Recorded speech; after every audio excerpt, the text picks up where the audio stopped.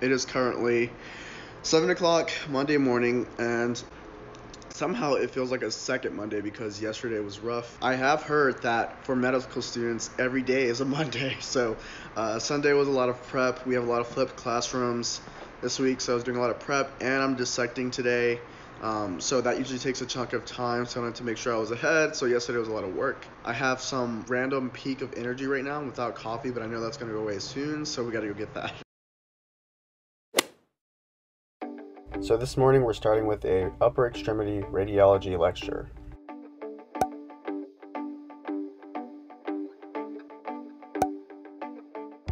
Now it's time to get ready for anatomy lab.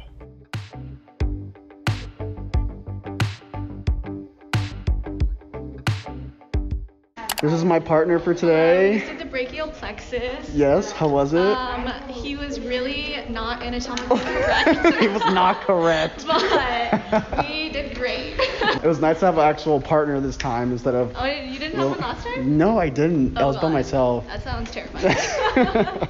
All right, guys. I am getting in my car to go home and shower and get all this uh, juice off of me and uh, get some more studying in. Let you guys know how the dissection went, and I will see you guys there. All right, guys. So I am back and washed up. Anatomy lab was quite fun this time because I actually had a partner to kind of go through structures with. Uh, she actually wasn't supposed to be my partner. I was supposed to be alone again because my partner bailed out. I don't know if this is the same person every time, but she was there without a partner, so we were able to work on the brachial plexus together. Our guy had really strange brachial plexus. If you don't know what the brachial plexus is, it's basically a network of nerves which can be found in the axilla area or your armpit area and will kind of come down the brachial or arm area and basically supply a bunch of different muscles. So it'll supply your biceps, triceps, your anterior flexor muscles, your posterior extensor muscles on your forearm. It will even go down to the tendons that will help your fingers do things like that. That's a pretty important nerve network in your body.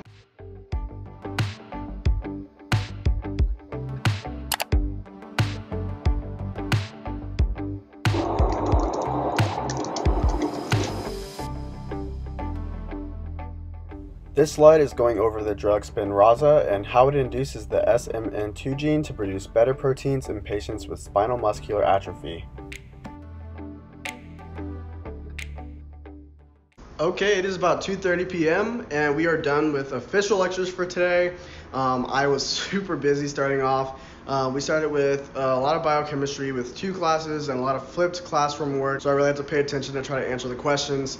Um, so I didn't get a lot of film time then. And then I had my cytogenetics 2 lecture, which is basically over different types of inheritance issues um, due to chromosomal problems. And then after that, we had peer teaching for anatomy lab, talking about the flexors of the forearm, uh, the nerves and the arteries and things like that, and also the carpal tunnel, the wrist area, the carpal bones, all that fun anatomy stuff. And now I have the time to kind of do some Anki cards and do some more review for tomorrow. I do have a flip lecture that I haven't prepped for that's for tomorrow, so I need to prep for that. You, did y'all hear that? But I do, like I said, have a flip lecture tomorrow that I do need to prepare for and do some Anki and some more maintenance. So today is gonna be a nice day of prep and maintenance.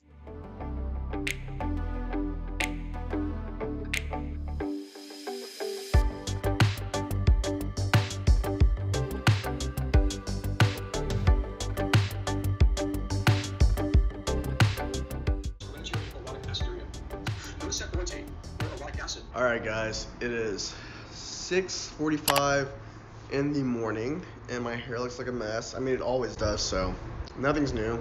On, let me turn on the lights. Um, I don't actually have as much work going on today, so I'm gonna try to get some new um, experiences in today. You know, like um, working out and actually being active. Right now, I am going to be looking over pyrimidine and purine um, biosynthesis, and then after that, I'm gonna start going over the drugs that kind of inhibit those pathways. But today's gonna be a fun day because I am pretty much caught up. So. I need to basically just stay where I am and try to just get better at what I've been learning this week. I feel like my eyes are so watery. It is actually September 2nd today, and I forgot to reset my calendar, so I'm gonna do that now.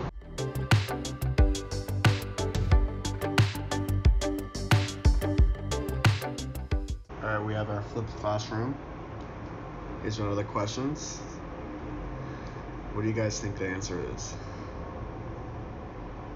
This is also a hard question disclaimer, so. Literally was gonna update you guys at 8.50 because class was supposed to end then, and the next one at 9, but it went over 10 minutes, so now I'm rushing to class because it's 9.01.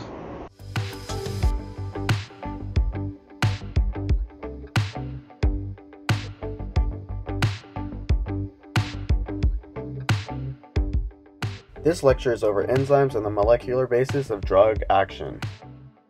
So it's about 12 and lectures are over, which means that I'm going to be doing a lot of Anki, a lot of maintenance, as always, when the day is over, and um, trying to get ahead maybe a little bit. Um, tomorrow we actually don't have any in-class lectures.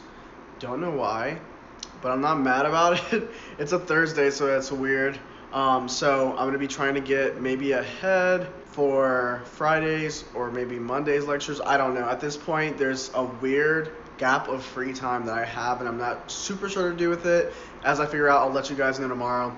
Um, but today was honestly so weird because today just feels off. I don't know if I'm bored, which I don't think I am because I'm interested in the topics. It's just maybe I'm just more relaxed that I don't know the details now, but I'll know them eventually. I don't know. It's weird, but I haven't really eaten much today, so I'm gonna make the red beans and rice my mom bought me. I haven't shown you guys, but my mom is a great cook and she bakes and cooks. And she made some red beans and rice and some fried chicken and cornbread, and it, it was so good. Um, the image I'm gonna show you is what it looked like when she made it, and the video of my food today is not gonna look as good because I'm taking it out of the fridge and just mixing it in a bowl. Um, but it was amazing.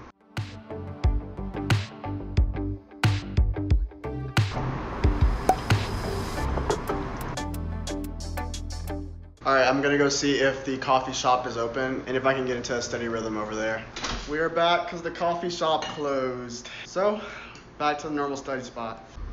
I got my own coffee shop in my very own kitchen. Look at that. Same thing, right?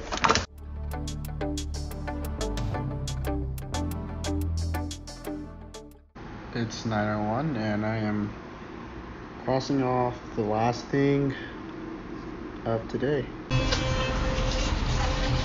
All right, it is Thursday, and we actually don't have much to do today, which is really nice. We just have anatomy peer teaching and like a mental health lecture to make sure uh, we know how to take care of ourselves.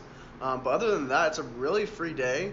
So I thought I was gonna go to a coffee shop. So you can go to a coffee shop with another fellow medical student and friend you guys have probably seen on the channel sometime before and we're going to get some work done and this is actually the first time I've actually studied school stuff with another medical student this is the first time I'll be able to actually kind of bounce ideas off of another student and kind of uh, quiz and have them quiz me look what she bought me Where's my tip? let's see I'm, I'm looking for the donut Ooh. oh you got the bacon kind that was The a maple, maple bacon? bacon? ooh yummy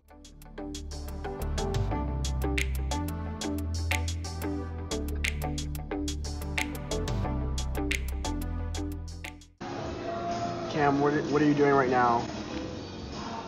Getting a breath knocked out of me by pulmonary. that's that's clever.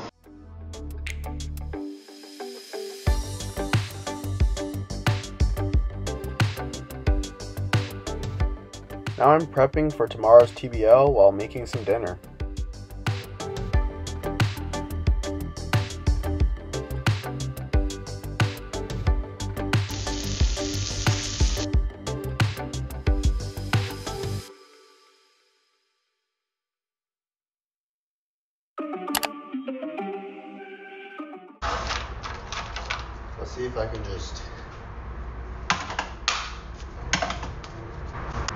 Look at that. Definitely was not edited at all.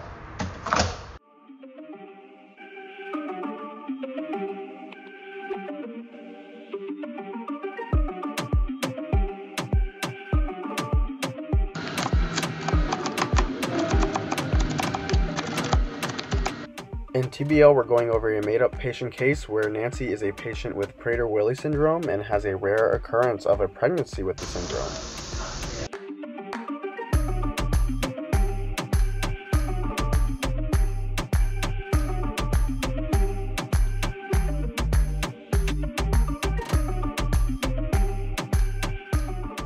Alright guys, so this morning you saw me doing some respiratory practice problems, kind of going through the different type of physiology questions that could be asked. And then after that we had TBL over Prader-Willi syndrome. And uh, the disease is basically going to be um, associated a lot with um, immense hunger.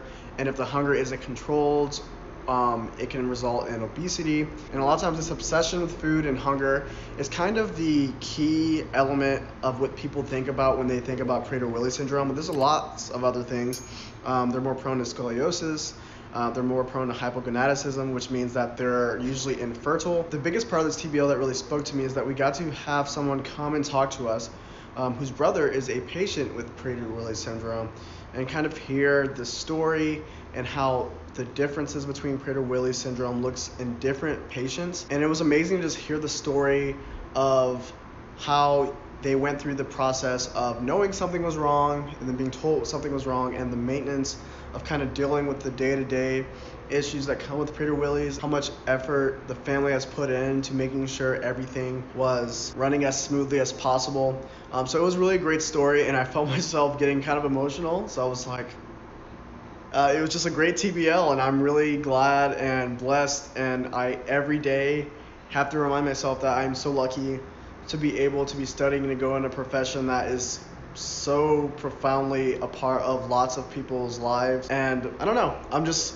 in a good spot right now because I've been reminded once again today why I'm doing what I'm doing, why I study all the time, and I am now super motivated and excited to study today to become the best physician that I possibly can be. You guys will probably hear me saying that a lot throughout my time as a med student that I have a renewed sense of energy and honestly every day I have to remind myself to keep that sense of energy. So let's go study.